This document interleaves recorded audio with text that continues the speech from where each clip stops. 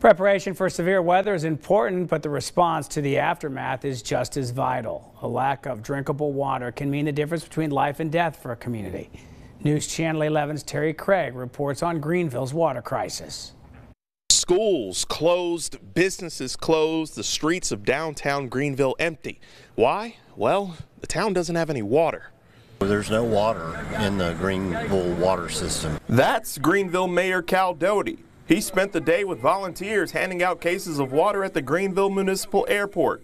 In the aftermath of Hurricane Helene, town leaders realized the pumping station that supplies water to the majority of Greene County had been damaged.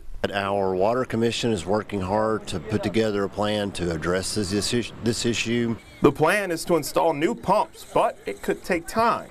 Doty says the hope is to get residents water back within the next week. There's eight pumps coming in that will be put into the river as soon as we can get down there. Because of the flood, there's sludge and other things where they're having to try to get down to the pump house. The airport, South Greene High School, and the Camp Creek Volunteer Fire Department are just a few of the water distribution sites across the city. City Manager Todd Smith says volunteers from across the region are working tirelessly to provide Greeneville with water. We looked at the videos of uh, all the, de the destruction and devastation we saw on Friday and Saturday, uh, and you think you're defeated. Today, you see the people come out and support the community, and you know you've won because we are going to take care of each other. As the process to restore water continues, Doty reminds residents to stay patient. We are where we are.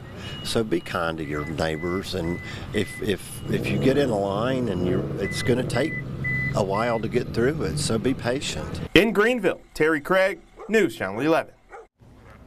Thank you, Terry. You are looking at a full list of water distribution sites in Greene County. It's on your screen right now. You can also visit our website, WJHL.com, for more information.